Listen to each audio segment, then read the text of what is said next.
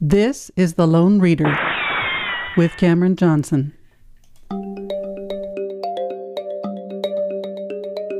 Earth gumshoe Lije Baley and his robot partner Daneel Olivaw travel through hyperspace to solve a murder on a crime free planet where robots outnumber people 10,000 to 1. This is Cameron Johnson of the Everett Public Library, and the book is The Naked Sun by Isaac Asimov. Detective Lije Baley's uprooted from the hive like crush of Earth and ordered to Solaria, a mysterious Earth colony.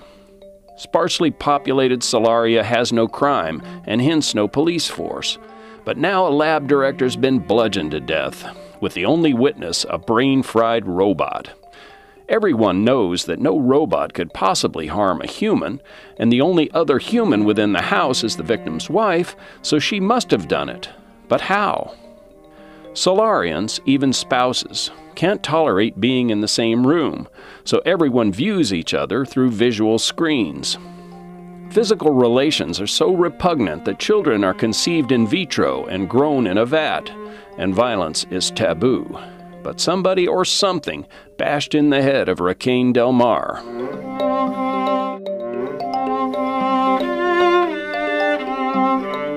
Solarians are rich and haughty and think all Earthmen stupid, and Solaria's bureaucracy is obtuse even by Earth standards.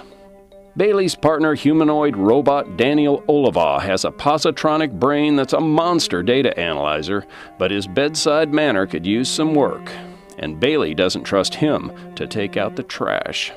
Baley's learning a lot about Solaria, and a lot of it stinks, and he's rapidly becoming an authority on robots. The book is The Naked Sun by Isaac Asimov. This has been The Lone Reader with Cameron Johnson.